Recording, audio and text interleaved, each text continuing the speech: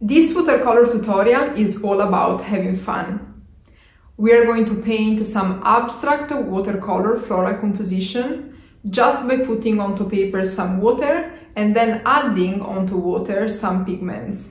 There are no rules, you can use the shapes as you want, the colors that you want, and the main target is just to have fun.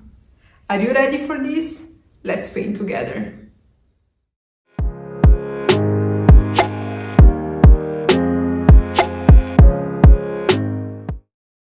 In this abstract watercolor tutorial, we're gonna have fun.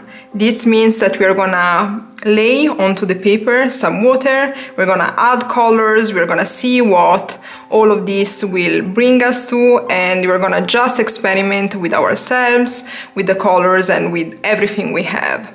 I have my Arches paper, my watercolor Winsor & Newton colors, and two cups of water. I'm going to proceed with a Princeton Heritage round brush size 6 but you can actually use any brush you'd like to use for this video. The way I wanted to proceed and I would recommend you to try as well is to lay some water onto the paper and then just add colors that remind us the colors of nature, of the flowers, of the stems, leaves and just see what will come out of this.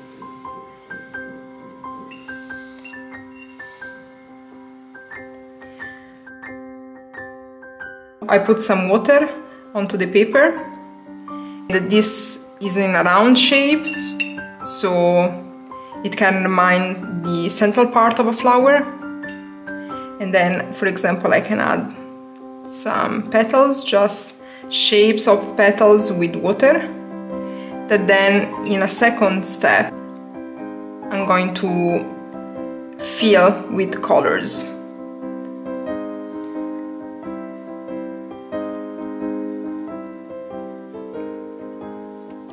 So for example, now I can take some yellow and add it to the center.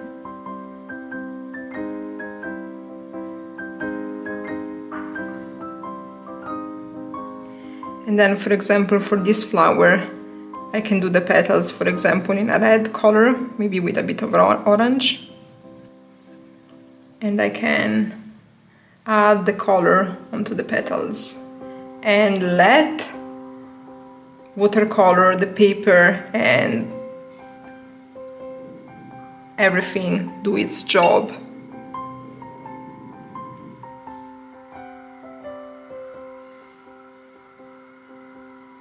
I can change the colors.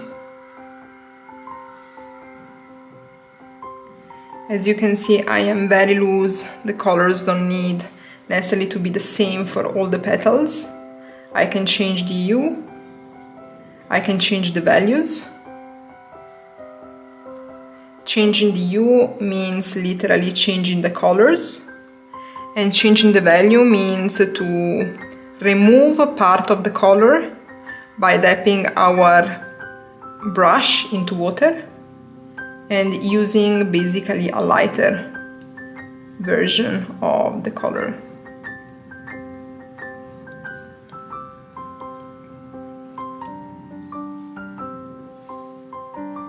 Can start with another flower. For example, this can be another center of the flower. And I can add petals.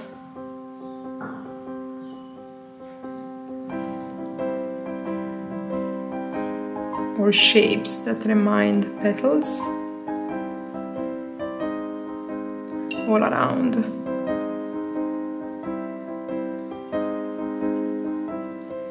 And by letting water touch the petals we already created, we will have this effect where the colors are going, where the color is going to bleed into the new flower. I'm gonna add some petals, some orange to the petals. I'm gonna add yellow to the center of the flower. And I will allow the colors to play with water and I will allow them to dance onto this paper and just travel wherever they feel because there is water.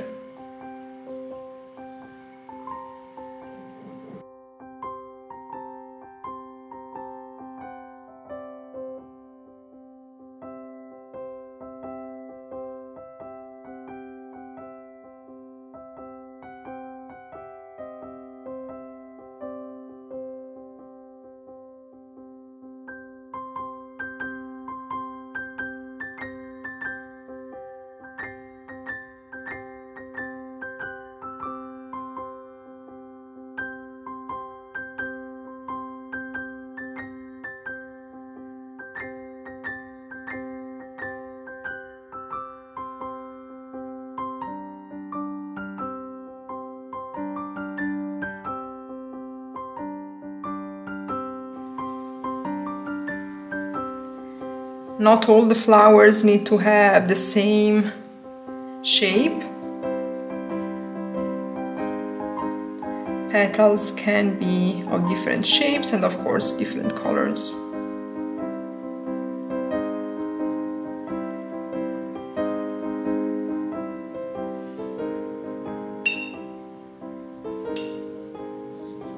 I can drag some of the petals I already created my brush and I can let the color just move because it's not dry yet. Start creating another flower here.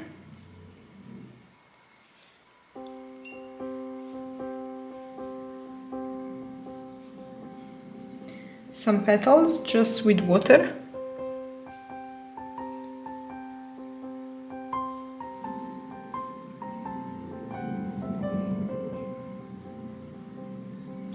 And then I'm going to start to add colors. Yellow for the center of the flower. And then why not, we can add the same color, for example, with a bit of yellow ochre onto these petals and we can check and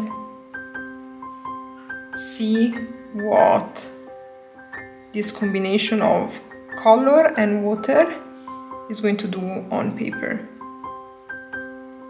For example, now I would like to add a bit of pink. This is Opera Rose.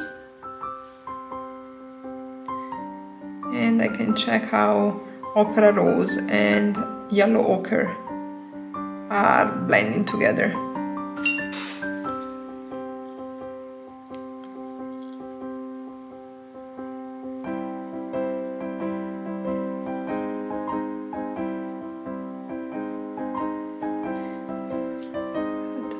Going to add a petal here.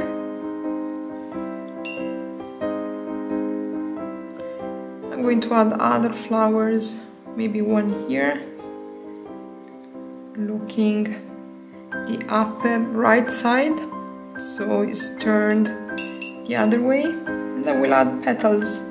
And just doesn't have to be perfect. We just want to experiment with colors we want to become familiar with how the water and the colors and the paper we are working with are working together. Which behaviors these colors have with the paper and the water we are using. I'm going to add some yellow ochre this time. And then I can add maybe petals this time of a blue color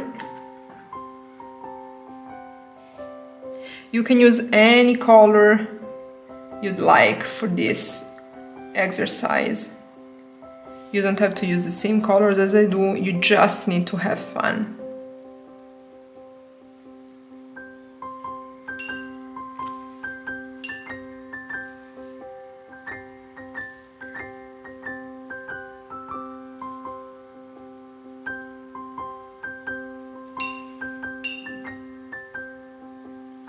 Another flower on top here. With its petals.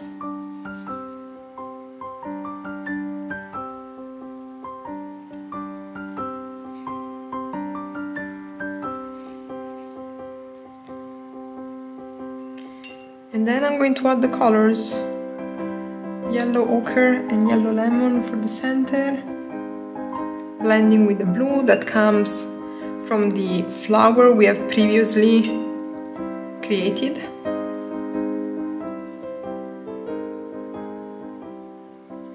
And then maybe some Winsor orange for other petals.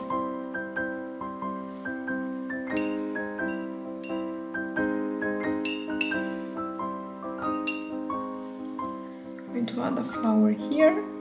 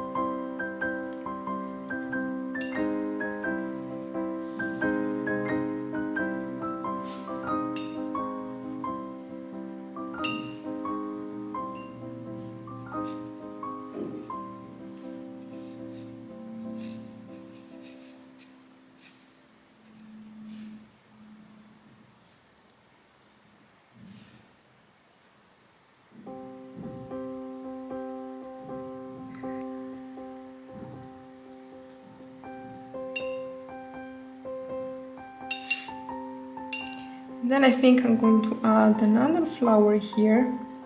And then I will start to add the leaves, stems,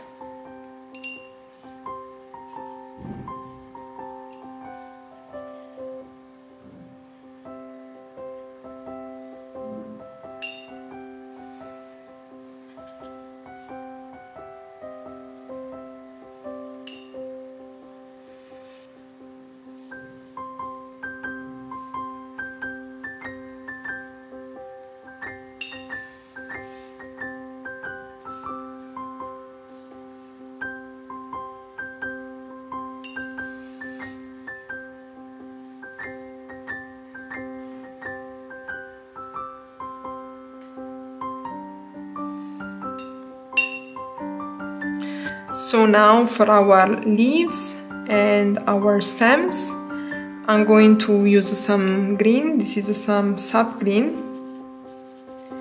I'm going to add a bit of red to close the gap because I want the green to align with the colors that we have. So I use a bit of red because these colors, these flowers have this red um, scarlet lake so I'm going to mute the green with this red and I'm going to create some stems.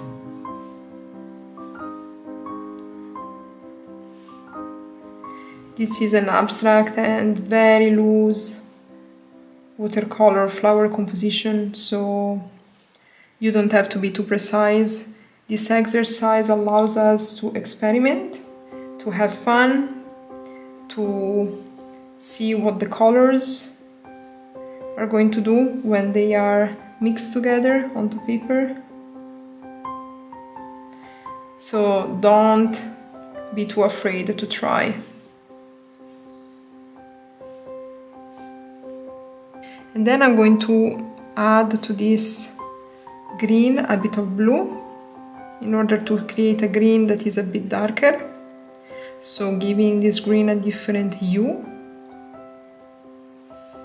And I'm going to add other stems.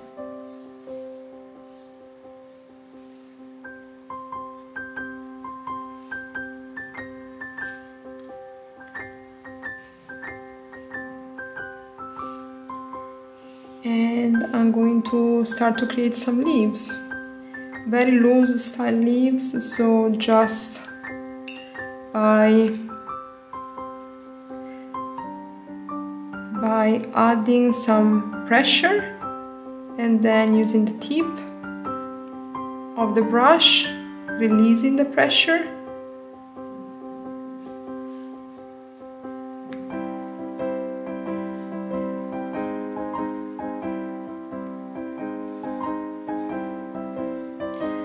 removing some green into our cup of water to have different values of this green and give different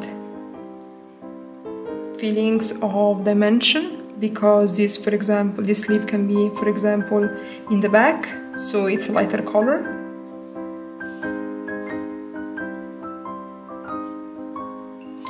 The idea I repeat is to have fun mix different colors together, see what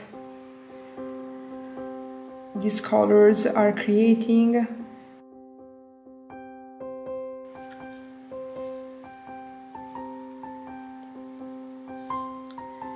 Checking what we like. Experimenting with shapes, for example, of petals and leaves with color values.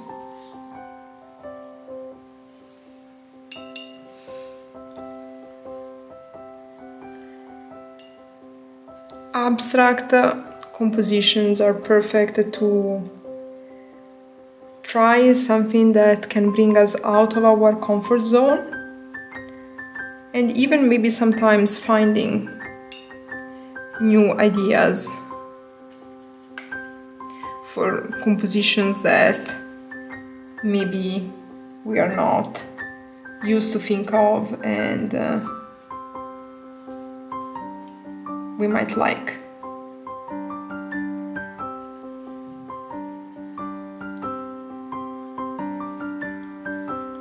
You can experiment with the wet on wet technique. You can add more details when the flowers or maybe the leaves are already dry and then you will experiment with the wet and dry technique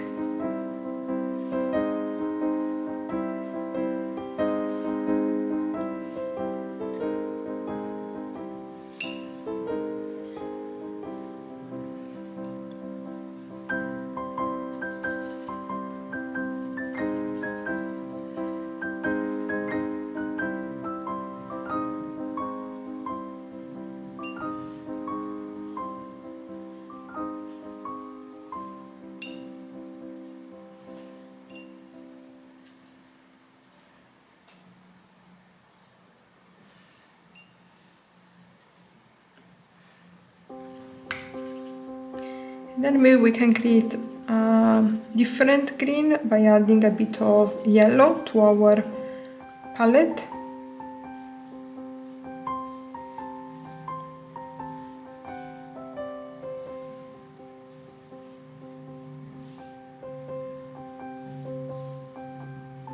And then maybe we can create also some leaves of the same color.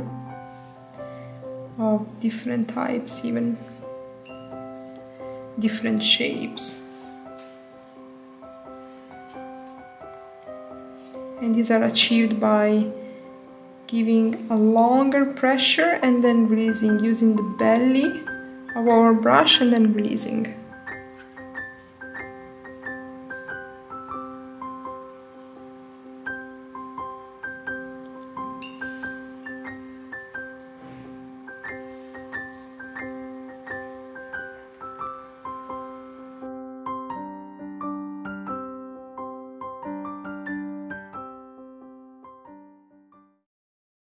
I hope you enjoyed watching this watercolor tutorial. Did you learn something from it or did it uh, sparkle your inspiration to do something uh, different from what you're used to paint or something new? Let me know in the comments below. If you would like to see more videos like this one, also let me know in the comments below.